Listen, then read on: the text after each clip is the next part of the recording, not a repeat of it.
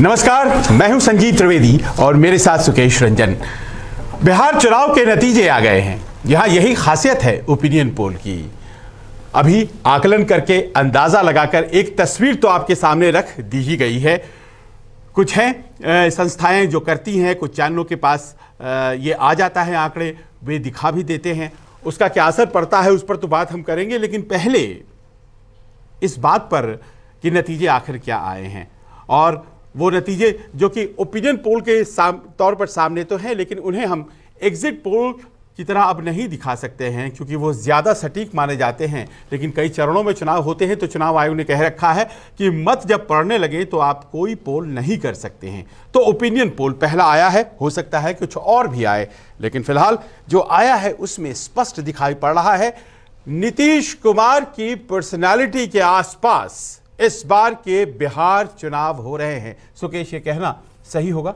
इन आकलन जो नतीजे हैं और इन नतीजों में जिसमें कि स्पष्ट दिखाई पड़ रहा है कि एक बार फिर से नीतीश कुमार सरकार बना रहे हैं। आंकड़े ही बता देते हैं 133 से 143 सीटें बताई गई हैं।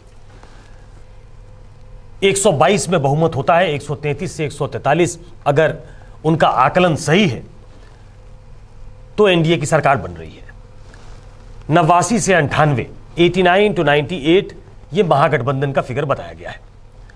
88 टू 98 88 टू 98 मतलब वो अच्छा प्रदर्शन तो कर रहे हैं और ये अच्छा प्रदर्शन मैं कह रहा हूँ लोकसभा चुनाव से जब उसकी मैं तुलना कर रहा हूँ।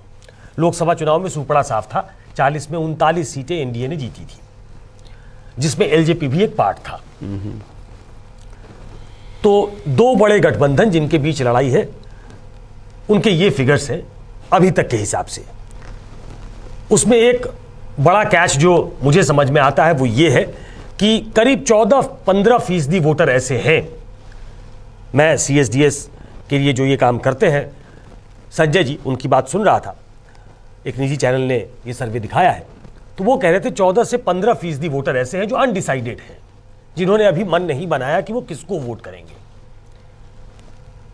क्या वो कैंपेन जब पीक पे आने लगा है ये जो आकलन है ये 10 तारीख से 17 तारीख तक का आकलन है आज हम 19 तारीख में बैठे हैं 20 तारीख में बैठे हैं। 20 तारीख। मतलब तीन दिन पहले तक ये सर्वे किया गया है तो ये एक्सरसाइज अगर लेट से की जाती तो क्या वो 14-15 फ़ीसदी जो अनडिसाइडेड है वो क्या किसी तरफ़ होता एनडीए की तरफ़ होता या यूपीए की तरफ़ होता अब तक दोनों गठबंधनों का ये है कि जैसे जैसे ये पीक पे पहुंचेगा अभी तो हमारे प्रधानमंत्री पहुँचे नहीं है। अभी हमारी साझा रैलियाँ हुई नहीं है तो ये सर्ज करेगा हमारे फेवर में।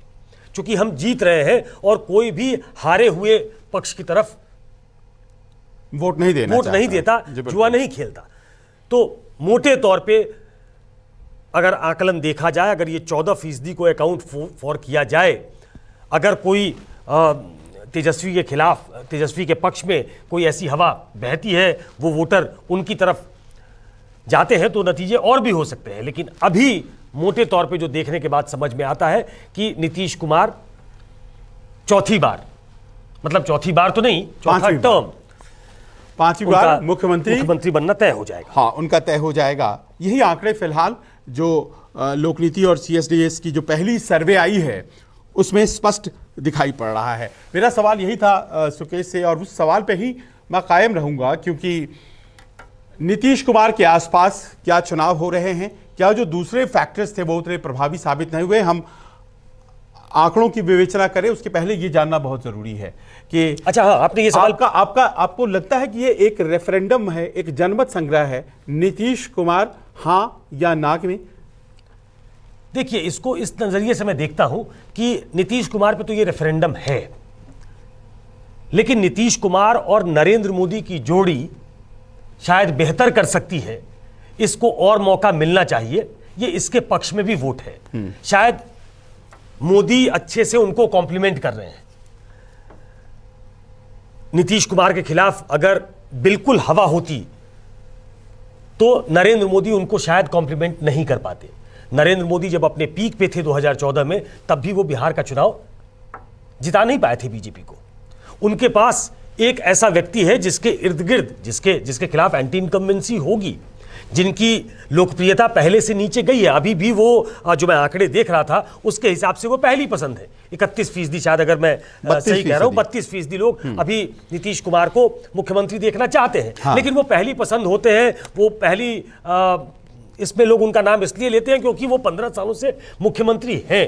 उनके बहुत क्लोज खड़े हो गए हैं तेजस्वी यादव। तो ये चूँकि बड़ा इवनली मैच्ड है दोनों गठबंधन पावरफुल गठबंधन है दोनों बहुत पोटेंट गठबंधन है तो जो उनको पसंद करते हैं वो वोकल होकर तेजस्वी के लिए कह रहे हैं तो वो 27 फ़ीसदी के आसपास है। नीतीश कुमार की लोकप्रियता नीचे गई है, लेकिन अभी भी 32 फ़ीसदी लोग अगर उन्हें पसंद करते हैं तो नरेंद्र मोदी चूँकि उनको कॉम्प्लीमेंट कर रहे हैं, इसलिए ये विक्ट्री में तब्दील होगा। अब आज के आंकड़े हैं तो ज़ाहिर है बहुत महत्वपूर्ण हैं अगले छः दिन क्योंकि छब्बीस तारीख को प्रचार कार्य शाम पाँच बजे खत्म हो जाएगा। तो ऐसे में प्रधानमंत्री का पदार्पण भी बीच में होना है, रैलियाँ होनी है, राहुल गांधी भी आने वाले हैं। अड़तीस फ़ीसदी वोट कुल आज की तारीख में।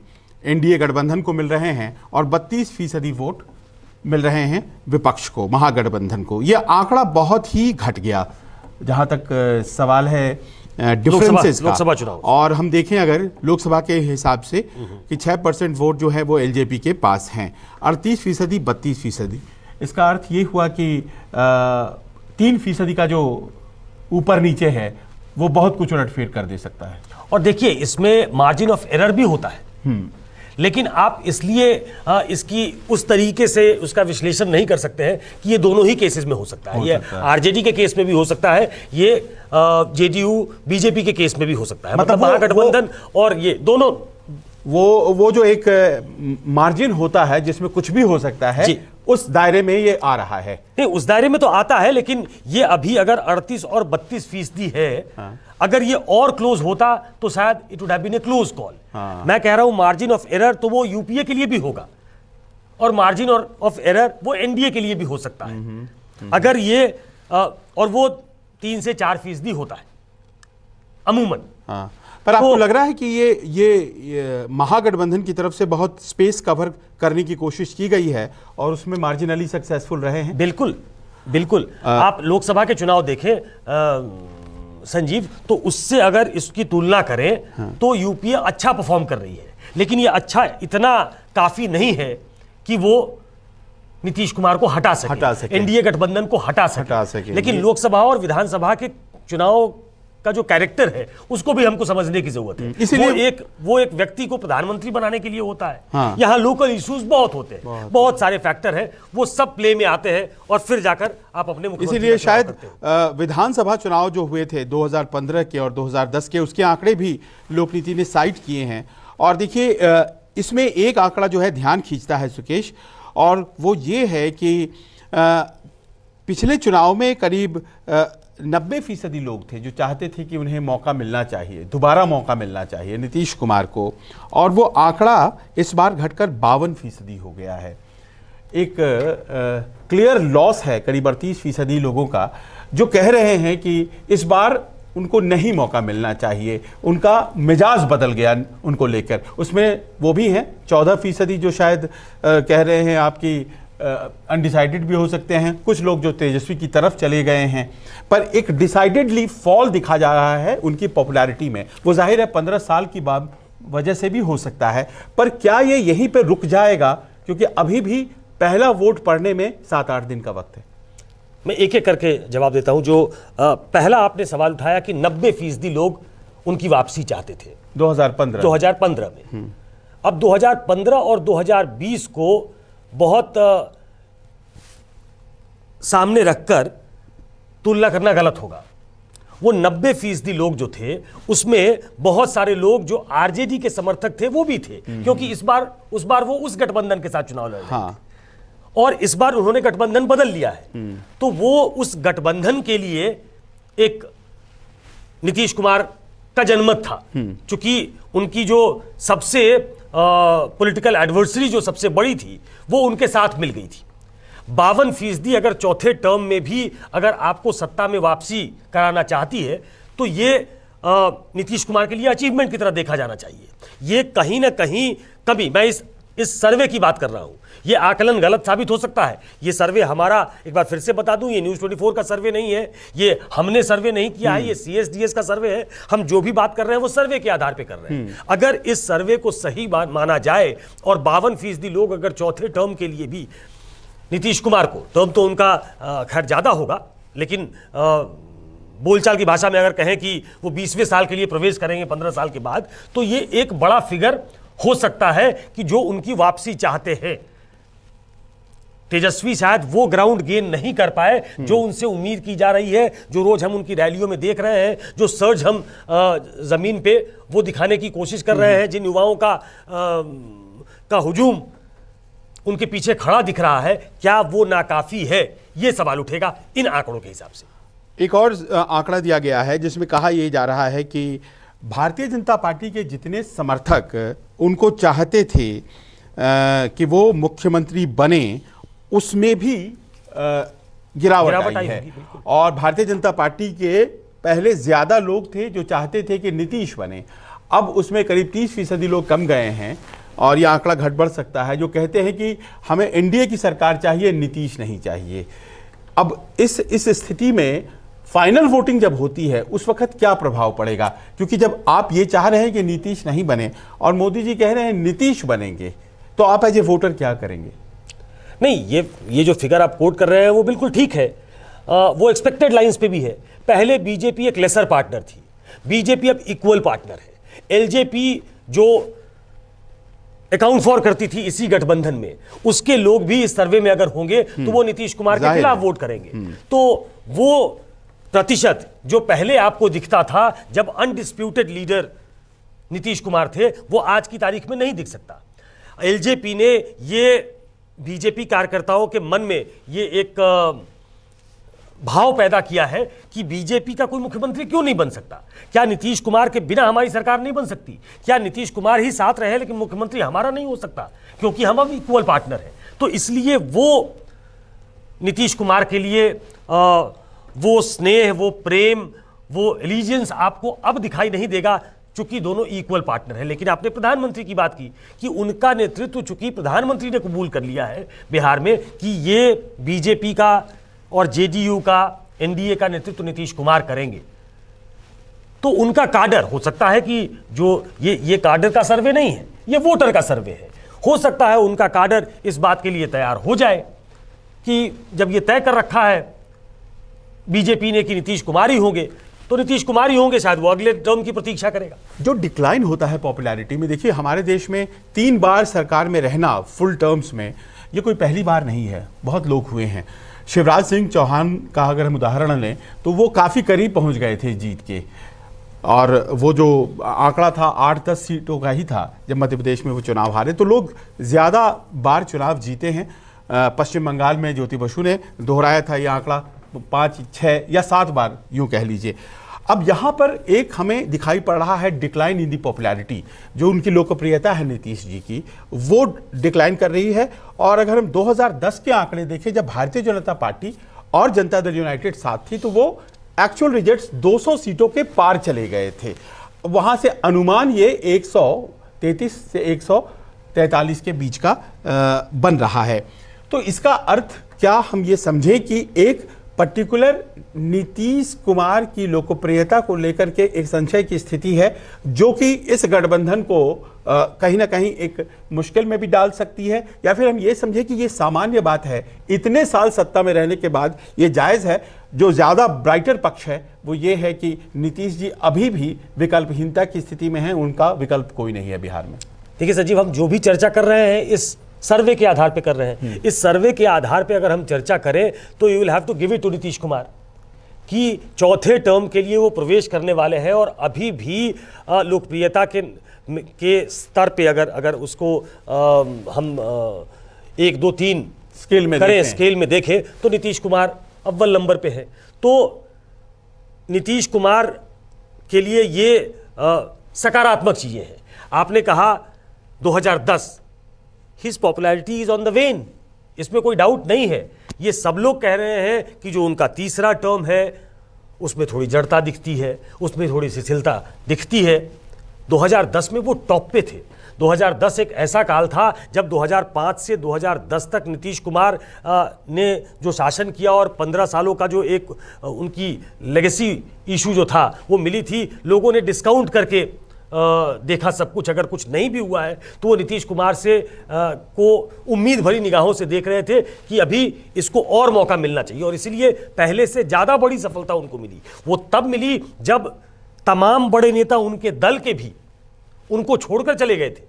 और तब नीतीश कुमार ये कहा करते थे कि दरअसल वोटर में ताकत होती है, नेताओं में ताकत नहीं होती है, जनता मालिक होती है। तो 2010 वाली लोकप्रियता, अगर 2020 में आप नीतीश कुमार की ढूंढ रहे हैं तो वो नहीं मिल सकती आपको। 2015 में भी जो उनको सफलता मिली, वो आरजेडी और जेडीयू। देखिए, वहाँ तीन पक्ष हैं और आम बातचीत की अगर आप लोगों से करें तो वो बताते हैं कि तीन बड़े पक्ष हैं। दो जब एक तरफ़ हो जाता है तो तीसरा हार जाता है। जब जेडीयू आरजेडी के साथ चली गई तो बीजेपी हार गई। जब जेडीयू बीजेपी के साथ चली आती है तो आरजेडी हार जाती है। ये वहाँ बोलचाल जो राजनीतिक मिजाज वहाँ का है तो वहाँ अगर किसी से बात करें तो आपको ये सरलीकरण वो करके बता देगा। और ये सही बात है कि तीन बड़े वर्ग हैं जिसके आधार पर चुनाव होता है।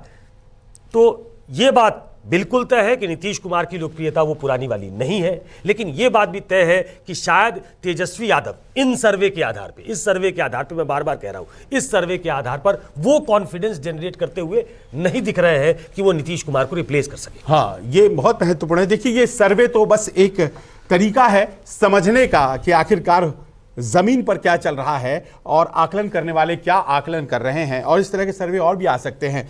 वजह इस सर्वे को आप तक पहुँचाने की है, वो ये कि हम समझें कि आखिरकार दिशाएँ क्या हैं। और दिशा दो दिख रही है, तेजस्वी यादव गेन कर रहे हैं।